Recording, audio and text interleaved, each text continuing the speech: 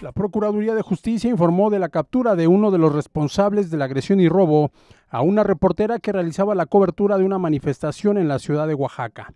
Antonio Francisco Castro Muñoz, integrante de la Confederación Nacional de la Productividad, fue detenido y puesto a disposición del juzgado primero penal por delitos de robo calificado con violencia a las personas. El 14 de mayo del 2014 ocurrieron los hechos en la calle de Melchor Ocampo e Hidalgo, donde la comunicadora realizaba su trabajo dando cobertura a una manifestación de la CNP. Fue golpeada y despojada de su equipo de trabajo, además de un teléfono celular.